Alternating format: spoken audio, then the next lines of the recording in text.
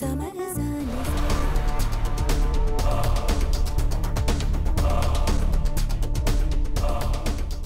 ഇതെങ്ങനെ പോകുന്നതിൽ അർത്ഥമുണ്ടോ